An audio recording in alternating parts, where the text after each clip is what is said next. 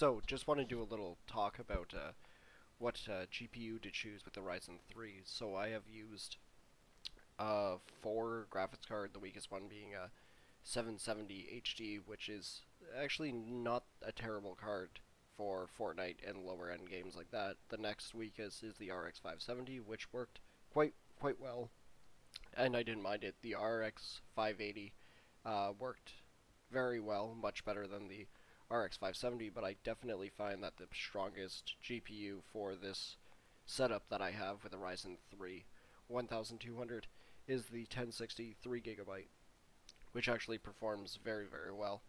Uh, I have an overclock of 3.8, which I highly recommend that everyone does, a 3.7 or 3.8.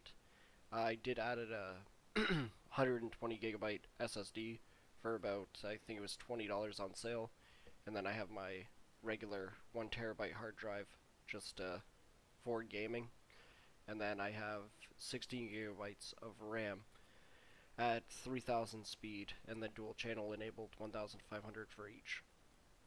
And I have to say it does run decently well. I uh, I honestly can't complain about it whatsoever. Um, I definitely would highly recommend if you are doing a Ryzen build for a budget the 1060 is definitely the better card to go with over the RX 570.